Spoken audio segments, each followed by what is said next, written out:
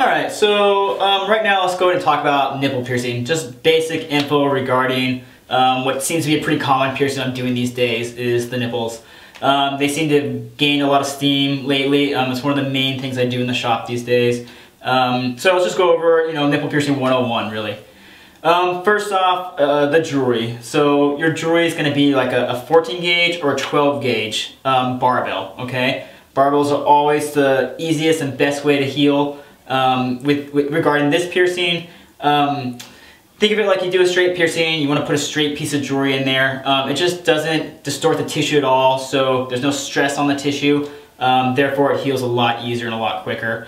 Um, a ring has a nice curve to it, but that curve is going to distort the tissue, pull the nipple down a bit. Um, your nipple is going to constantly be fighting that, that curve or distortion while it's healing. So barbell um, the best route to go. And then 14 gauge or 12 gauge, never a 16 gauge. Um, 16 gauge is a little too thin, it's a little bit too wiry. Um, think of uh, the piercing in regards to like a, a block of cheese. Um, a block of cheese, if you take a thin piece of wire, it's gonna cut through really, really easy. If you take a thicker piece of wire, it kind of hits it and stops.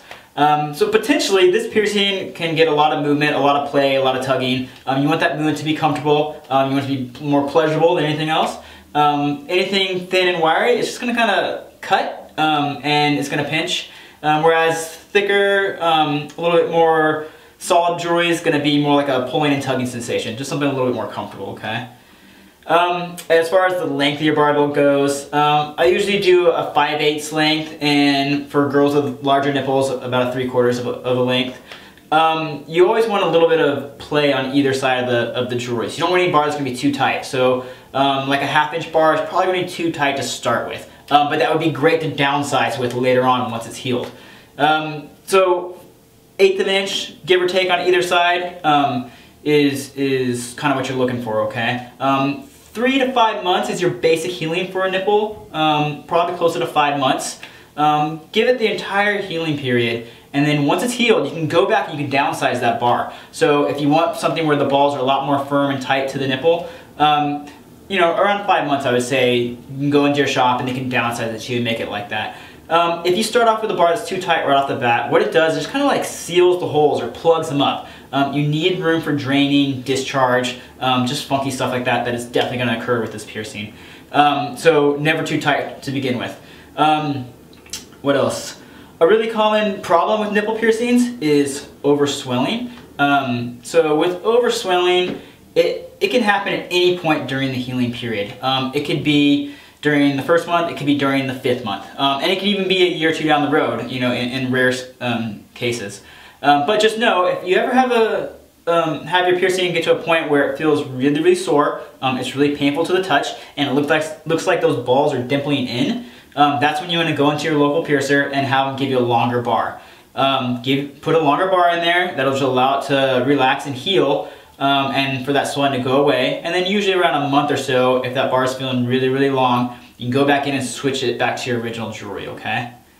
Um, you know, just like with any other piercing, um, during the healing period, don't spin it, don't rotate it, um, kind of leave it alone, try and keep it as stationary as possible um, the more movement it gets, the more it's just like picking out a scab. Um, and when you pick out a scab, you're gonna get more scar tissue. Um, it's gonna take twice as long to heal. And not only you're gonna be introducing a lot of bacteria into that piercing while you're moving that jewelry around, okay? So keep it as stationary as possible. Um, I know to say like five months to leave your nipple alone is kind of asking a lot, um, but do your best. Um, the boob itself is fair play, you know, you can work around it, but as far as the piercing itself goes, just leave, leave it be, okay? Um, and as far as aftercare products goes, once again, uh, no hydrogen peroxides, no alcohol, no neosporin, no Bactine, um, none of that stuff. It's just way too harsh, does a lot more damage than good. Um, pretty much just saltwater soaks. Um, the same old saltwater soaks, okay? And um, I guess real quickly we can go over that again. It's just a gallon of distilled water, which is like any grocery store has it. It's usually around a dollar a gallon, pretty cheap and easy. Um, and then go to the salt section, you wanna get some non-iodized sea salts, all right? Just that pure sea salt is what you're looking for. When you get home, four teaspoons of the salt to that one gallon of water, shake that up. That just kind of gives you like a big jug to keep around the house. And once or twice a day, take like a coffee cup or a shot glass, um, in this case maybe two of them if you got both done, fill it up with the saltwater solution, microwave for a few seconds, just like barely body temperature, And you're gonna lean forward and push them up against your chest, okay? Push really hard, you get like a suction going, and that just kind of seals itself off. You can stand up and hang out, all right? Just usually, you know, 7 to 14 minutes is considered the standard healing time, but at least try and get 5 to 10 in there, okay? Um, once a day is to be good, twice a day is best, alright?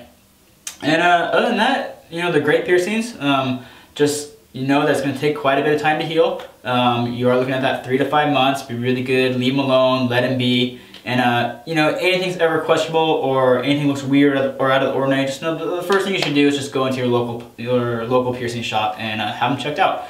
Um, there's always simple solutions to fix stuff. You just gotta have someone help you out with them, okay? Um, anytime you try and self-medicate or, or try and fix a problem on your own, um, usually it tends to go south and you just end up losing the piercing, okay? So, yeah guys, um, that's it. Pretty simple, just saltwater soaks, leave it alone, get, get it pierced properly, um, get the right jewelry put in there, and uh, yeah, you should be good to go.